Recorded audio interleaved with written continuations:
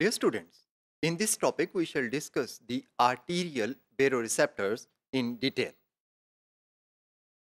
The arterial baroreceptors are widely distributed in the arterial system of vertebrates. They sense and monitor the arterial blood pressure changes.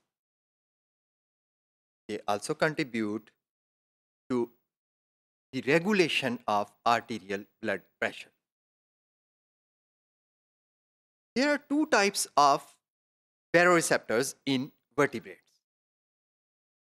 In the central cardiovascular system of amphibians, reptiles, and mammals, there are unmyelinated baroreceptors which respond to blood pressures higher than normal. That is, they respond to high blood pressures and initiate re reflexes to reduce the arterial blood pressure. Their effect protects the animal from the damaging increase in blood pressure. In addition to the unmyelinated baroreceptors, mammals also have myelinated baroreceptors in the carotid sinus, in their aortic arch, in the subclavian artery, in the pulmonary arteries, and in the wall of the right atrium. These myelinated baroreceptors respond to blood pressures which are below normal. They protect from the prolonged periods of reduced blood pressure.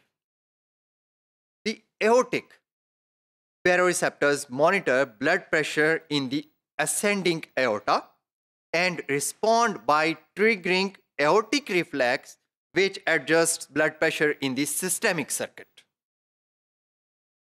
While the baroreceptors in carotid sinus are extremely sensitive and they trigger reflexes which maintain adequate blood flow to the brain.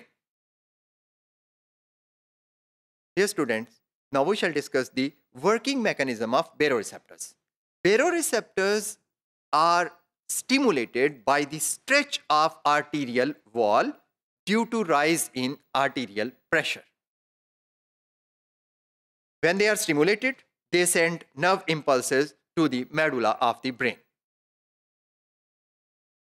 Medulla को जब baroreceptors की तरफ से messages send होते हैं तो it responds to bring blood pressure to normal levels by decreasing the cardiac output and by uh, causing widespread peripheral vasodilation, which decreases the blood pressure.